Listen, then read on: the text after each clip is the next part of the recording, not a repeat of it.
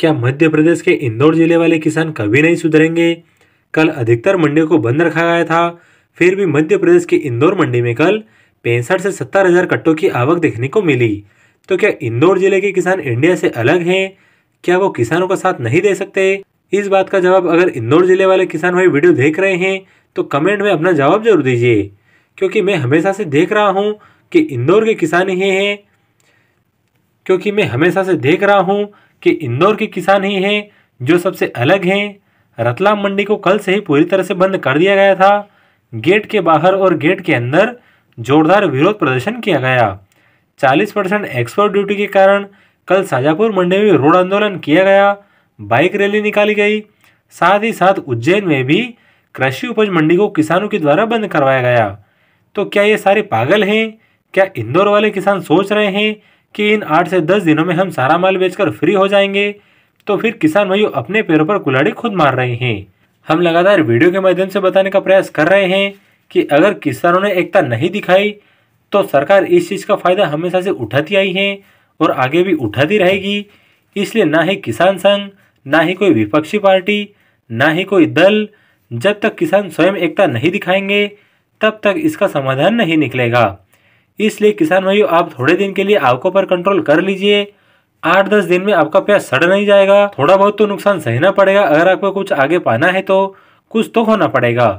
लेकिन अगर आप अभी सोच रहे हैं कि हम सारा प्याज बेचकर निपट लें तो आगे जाकर आपको बहुत सारी दिक्कतें आएगी। क्योंकि ये चालीस परसेंट एक्सपोर्ट ड्यूटी लगाई है सरकार ने। इसका आपको अभी सही से मालूम नहीं है कि ये आखिर है क्या। लेकिन इसका आप सही से आकलन करेंगे, तब आपको पता चलेगा कि ये चालीस परसेंट टैक्स आखिर होता क्या है? अगर किसी व्यापारी ने बीस लाख का प्याज खरीद कर एक्सपोर्ट करता है तो उसको लगभग चार लाख रुपए सरकार को टैक्स देना पड़ेगा। इतना बड़ा अमाउंट सरकार ने बहुत बड़ा गेम खेला है, लेकिन यहाँ पर अगर सभी किसान में एकता दिखाएँगे तो सरकार को मजबूरन यह निर्णय वापस लेना पड़ेगा। लेकिन अगर किसानी आपस में संगठित नहीं होंगे तो इसका उल्टा असर भी देखने को ज़रूर मिल सकता है। कहने का मतलब यह है कि हो सकता है प्याज के साथ साथ आगे लहसुन में भी यही हाल देखने को मिले।